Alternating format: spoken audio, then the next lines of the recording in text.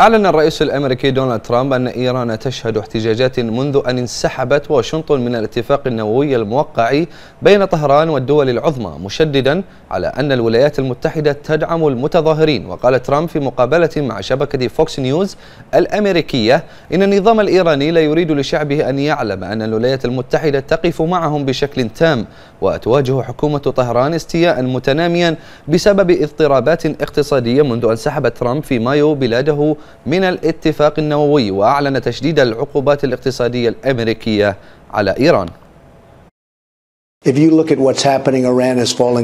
إذا تتابعون ما يجري فإن إيران تنهار. لديهم احتجاجات في كل مدنهم والتضخم متفش بشكل كبير.